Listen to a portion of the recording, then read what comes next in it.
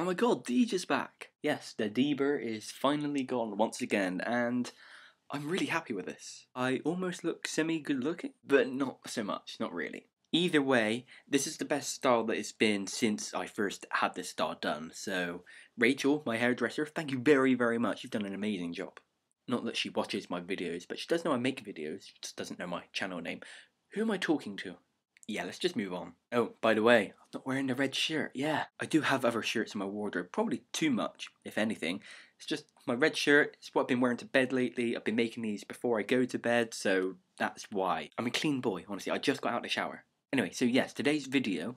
A few videos ago, I talked about uh, bucket lists and things that I want to do in America.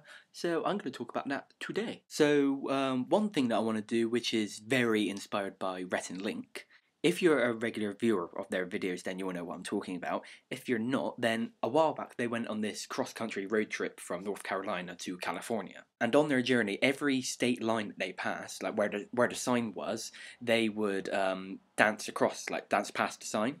I want to do that. Yeah, I know I'm not crossing anywhere near as many states as they are. From what I can gather, it's going to be uh, like Vancouver, so like Canada, like country lines. There's going to be Oregon, uh, Washington, and uh, California, obviously. There might be another one, but I'm not sure.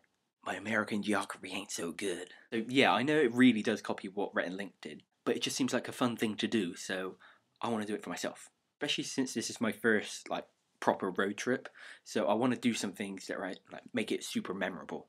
Second thing on my road trip bucket list is I want to do a Chinese fire drill, which, for those of you who don't know, is uh, when your car is at a stop and then everyone gets out of the car and then like runs round like a full full circuit of the car and then gets back in and then just act like nothing happened. What the purpose is of that, I don't know. Again, it just seems like a really funny thing to do. If you're a regular CTFxC viewer, then you will know what it is because Charles and Ali do it all the bloody time. What else do I want to do?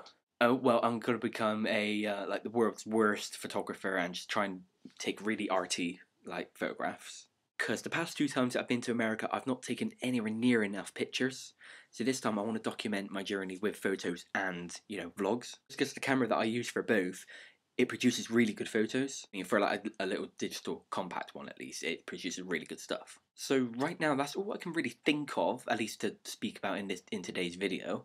So if there's anything that you think that I should uh, try and do on my road trip, then let me know down below and if it's good enough then obviously I, I will do it. And you'll be letting me have fun from your suggestion and expense. Is that right? I, I, I'm, not, I'm not sure.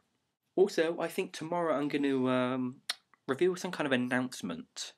And hopefully it's one, one that you guys will really enjoy especially you creative types. That's your first clue. Probably your only clue if I'm honest. But yeah hopefully you really enjoy it and take part in it so, yeah, please leave your comments down below, and I will see you tomorrow. Ciao! Didn't we need to emphasize the oh there, just make me sound like a spacker.